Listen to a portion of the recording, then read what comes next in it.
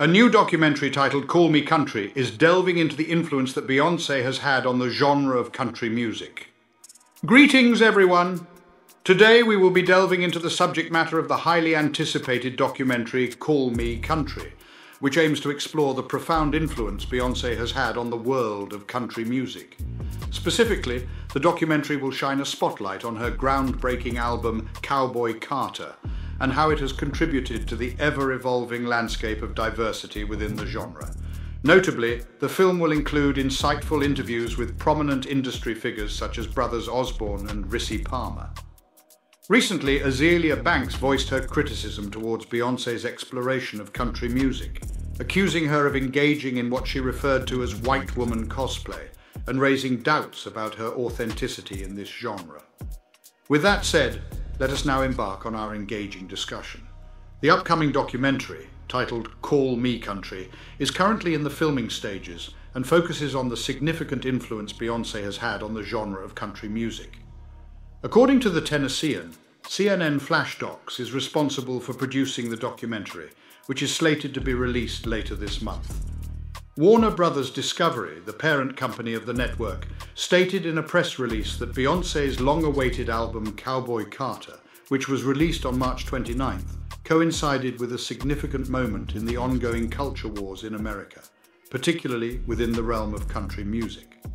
While certain individuals within the industry embrace a greater inclusion of diverse artists, others maintain a more limited perspective that predominantly revolves around straight white men. The documentary will feature interviews with John and TJ Osborne of Brothers Osborne, Rissi Palmer, Aaron Vance, and Denitia. In recent news, Beyonce garnered attention when Azealia Banks, a well known critic of the singer, strongly criticised British pop star Lily Allen for what she deemed as unprovoked racism towards the former Destiny's Child frontwoman. On April 6th, Banks took to her Instagram stories and shared a story that showcased Allen's criticism of Cowboy Carter, a sentiment that Banks herself has expressed, advising her to refrain from involvement. She started the conversation by reminding Allen of a phone call that took place several years ago, where she was clearly under the influence and emotionally distraught, pleading for forgiveness after making racist remarks.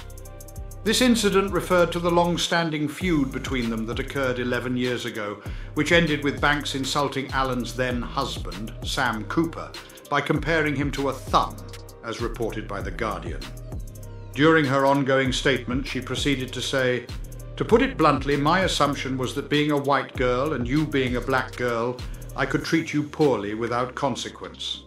Following that, Banks proceeded to provide a detailed account of the conversation between the two individuals, which she referred to as a blow by blow description. Paradoxically, Azealia Banks has often voiced her criticism towards Beyonce accusing the former Destiny's Child member of partaking in what she refers to as white woman cosplay. On March 19th, the rapper took to her Instagram story to unleash a blistering critique, drawing parallels between the Texas Hold'em artist and various well known figures in popular culture. She commenced by stating, My dear, I am an ardent admirer of White Yonce Donatella Bianca Bardot Down but I must admit my disappointment in witnessing your transition from baobab trees and black parade to this overtly attention-seeking content. Azealia insinuated that Beyonce showed exceptional support to the Dixie Chicks, attributing it to their race, while suggesting that she would never receive the same treatment. At the Country Music Awards, it is disappointing to witness the inclusion of white women who have been ostracized, such as the Dixie Chicks. In contrast, they would never reciprocate this gesture towards you. It is a recurring pattern to see you sharing your platform with white women who harbour envy towards you, yet have a lengthy track record of undermining the success of black individuals. By doing so, you unintentionally perpetuate the misguided belief that country music is an art form rooted in the aftermath of the Civil War. Azealia Banks, questioning Beyonce's decision to venture into an art form that made her feel unwelcome, proceeded to roast 16 carriages by asserting that it lacked coherence. The main focus, without any unnecessary racial implications, should be on achieving a number one hit with an exceptional country song. This sentiment was expressed by the individual, who also pointed out that artists like Kelsea Ballerini and Carrie Underwood have produced superior songs compared to the current Beyoncé-inspired tracks that are less appealing. To support our channel's growth and ensure broader awareness, kindly hit the like and subscribe buttons. This will help us reach more individuals and disseminate valuable information. Thank you in advance.